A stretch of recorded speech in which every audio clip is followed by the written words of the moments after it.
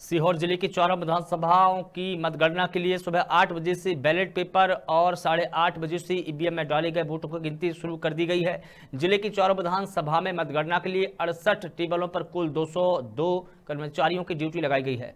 वहीं बुधनी और आष्टा में मतगणना के लिए सत्रह सत्रह टेबलें लगाई गई है। वहीं इछावर और सीहोर में मतगणना के लिए चौदह चौदह टेबलें लगाई गई है। इसके साथ ही पोस्टल बैलेट के लिए एक एक टेबल अलग से लगाई गई है। बता दें कि चारों विधानसभाओं की मतगणना के लिए बासठ टेबलों पर एक सौ छियासी कर्मचारी और पोस्टल बैलेट की गणना के लिए चार टेबलों पर कुल 16 कर्मचारियों की ड्यूटी लगाई गई है। इसके साथ ही मतगणना को लेकर सभी आवश्यक व्यवस्थाएँ पूरी की जा चुकी है और मतगणना अभी लगातार जारी है।